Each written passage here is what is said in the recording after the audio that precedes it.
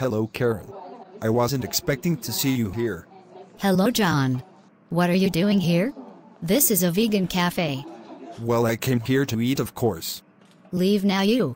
Sorry, but I would prefer to stay. I will not bother you as I am here for lunch with a friend. Ugh, fine. Hello, John. It has been a while. Hello, Movi1. It has been a while. It is nice to see you. How have? Wait, what? You two know each other? Yes. Do you have a problem with it? We are good friends. Of course, the weird people know each other. I'm out of here. All right.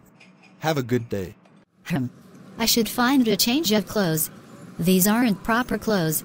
Hmm. This will do. I will buy this and wear it. I would like to buy this. Okay, thoughts $20. Thanks, I guess. Perfect. Looks great. I will walk to my home now. Hopefully, the dumb robot forgot about me. Oh right, I forgot about Karen and that she was still there. Hmm. I should teleport her out into the ocean and talk with her about how what she is doing is wrong again. Maybe this time I can convince her. Ah, Hello, Karen. hello, dumb robot. So you didn't forget about me? No, I did not. Also, I have a name which is Movi1. Pronounced movie. I am here to tell you some things. Stop lying to people by telling them they will go to hell if they aren't vegan. Many people want to go to heaven, and by saying this, you are scaring kids to go vegan. No, the pathway to heaven is not lined with vegan food. That makes no sense. Also, stop bringing the Black Lives Matter movement into your explanations.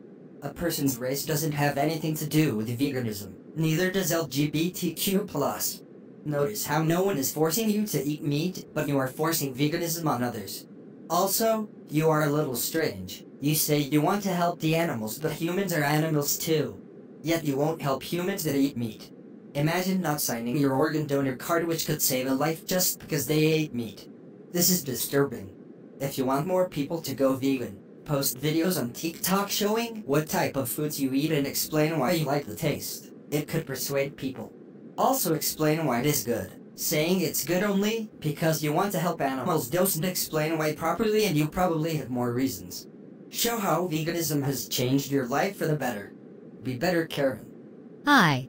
Um, let me show you a life you could save in the future just by signing your organ donor card. Wait, what? How will you show me that anyway? I will use telepathy.